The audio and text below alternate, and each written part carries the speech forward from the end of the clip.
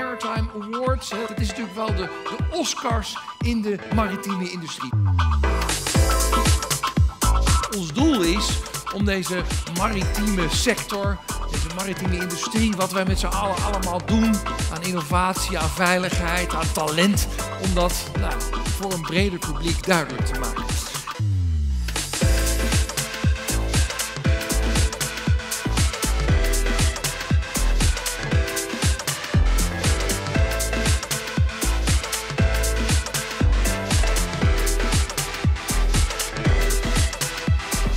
Thirty seconds before the show starts. Three, two, one.